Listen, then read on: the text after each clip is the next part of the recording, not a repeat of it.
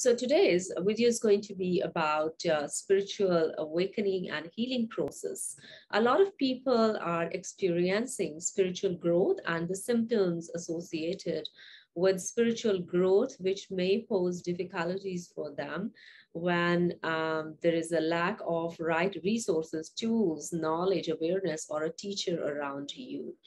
So we will talk, uh, dig a little deeper into what is happening in our systems when we are awakening to our authenticity.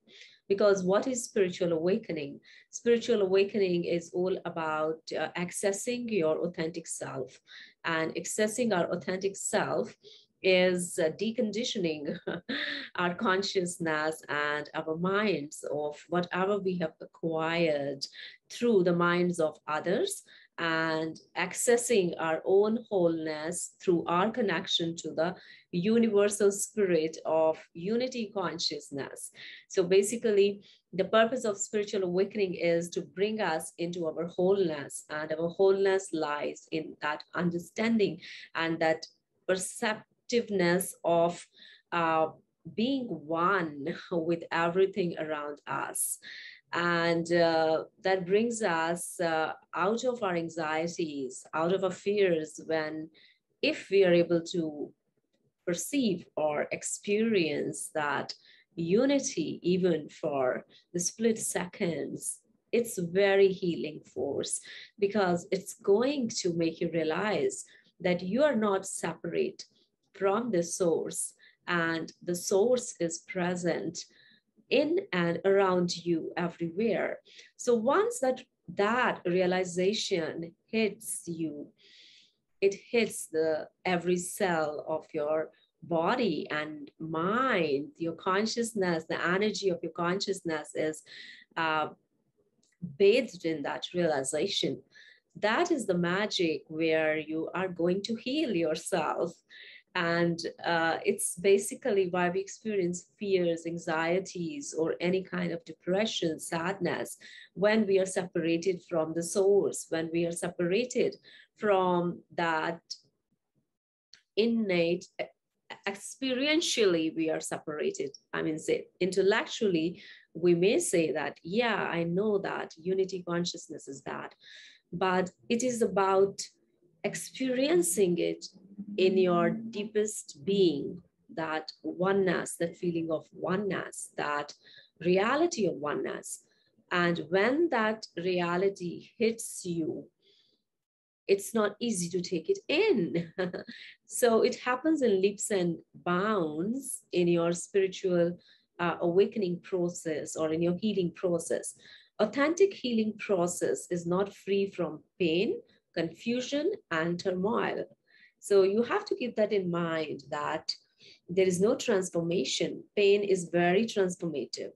In order to reach your authentic self, you need to go through some um, grief, some sadness, some sorrow, because it's not possible to break away from old without having a sense of loss that your ego is going to experience when you're shedding the old skin and the new has not formed yet because all your old experiences were based on your memory system and your perceptual system and your conditioned self that was associated with your old belief patterns, your old way of living, your old way of relating that was originating from your ego and defense mechanisms that you acquired in your early developmental stages so the healing process is all about uh, bringing us back to our early development stages and where we need to repair,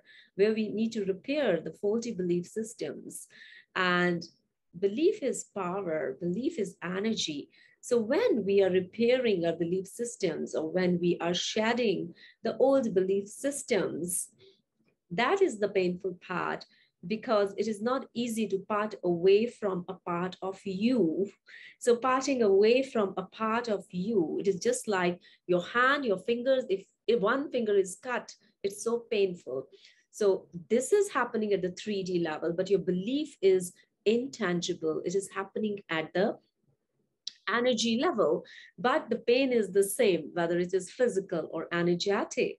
You're going to experience the similar pain when you're parting away from your old belief systems because you're not going to access your authentic self unless you are going to say bye bye to your old self. And that is where you are going to experience different stages of um, you will have to process your grief of parting away from your old belief systems in the ways you were relating to others around you and it all comes to your attachment systems how you were attaching yourself to the people in your life, how you were attaching yourself to your own sense of self. So, when your own sense of self is falling apart and how you were relating earlier with the people around you is falling apart, you will be sensing a totally new you. It is like you are breaking from your cocoon shell and trying to be a butterfly. It is that journey. And you can imagine that your pain that you're going to process, it's not going to go waste because you're going to fly and you're going to have an overview from the top and it's a beautiful view you're going to experience, which you would have never experienced if you were living in your shell as a cocoon. So you are going to have great time once you pass this universal test of processing through your grief process and emerging a new you. So I do uh, consult people who are going through these stages of grief because I have processed those stages myself. And I understand that it's not easy to survive through that process. It is a very painful process, as I've talked in my other videos also. It's like a dark night of the soul, where your brain brain is totally transforming and this is happening in your uh, kundalini process as well because in kundalini process is a totally neurobiological process. It is a psycho-spiritual process. It's not only that your changes are happening uh, in your consciousness, the changes are happening in your consciousness through your body. So the energy that is moving through your body and it, how it is changing, bringing changes in your nervous system, because the old uh, belief system and the old ways of relating is no longer working now. So, and new is coming in, and the pain is created, the confusion is created because you are in no man's land where the old is no more present and the new has not emerged yet. So that part of your process, if you understand, is called the dark night of the soul, that middle um, part where the old is left behind, the new has not already formed. So the mid part is somewhere we, where you need to really have faith, faith in the universe, faith in the higher power, and surrender to the process. And believe me, surrender is the key here. Surrendering, through that surrender, you're going to receive the grace. You're going to be graced to uh, emerge into new world into the new world view, into the new ways of perceiving your reality and experiencing your freedom. And it's only that a journey where your old ways, your ego, which was deriving its power from uh, defensive belief patterns, is dying off, and a new universal energy is penetrating uh, through your energy field, making you aware of uh, the real you and your connection uh, with your own wholeness. And you're becoming aware of uh, more uh, you as frequency, as energetic being, not so much as somebody uh, who is only a mother or a father or a sister or a wife. You are perceiving yourself as an energetic being first. And that is where your journey of self love, authentic self love, is going to happen when you are shedding off your old skin of faulty defensive survival patterns in your physiology that your neurology is going to benefit and emerge more free from that shedding of the old faulty belief patterns so that you can submerge your consciousness into the new whole ways of perceiving life around you and experience the flavors of life through that filter of wholeness, which will be coming from a healthy sense of ego that is free from anxieties and fears, which are usually happening from the faulty egoic self that believes in separation, that believes in judging, that believes in uh, creating defensive shield around itself and fails to listen completely, fails to use its five senses in the fullness uh, that filter is changing, believe me, in your spiritual awakening and in your healing process.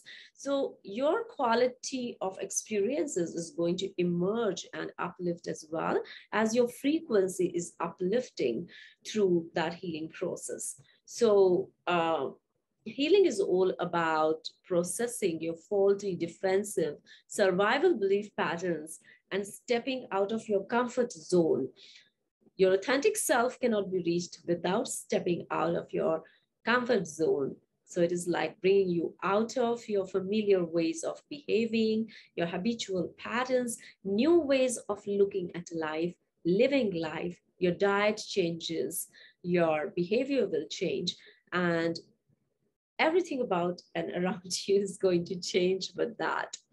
That is what is happening in your spiritual awakening as you are breaking through the shell of a cocoon and in the process of becoming a butterfly.